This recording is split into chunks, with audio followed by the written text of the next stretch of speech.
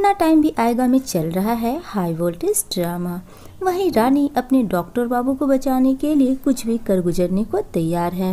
Holi special में इन दोनों का बहुत ही क्यूट क्यूट मोमेंट आप सभी को देखने को मिलने वाला है। ये दोनों खूब मस्ती करते हुए नज़र आने वाले हैं। वहीं राजेश्वरी अपने बेटे विक्रम को बचाने के लिए वीर को अपना निशाना साधे हुई है। वो इसलिए क्योंकि वीर तो उसका खुद का बेटा नहीं है, वो तो कुमुद का बेटा है। इस होली में आपको बहुत बड़े बड़े ट्विस्ट देखने को मिलेगा।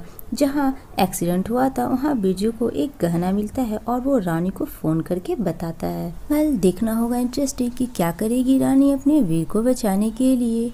और रानी शाह का अगला कदम क्या होने वाला है? वीडियो पसंद आया हो तो वीडियो को लाइक और चैनल को सब्सक्राइब ज़रूर कर ले।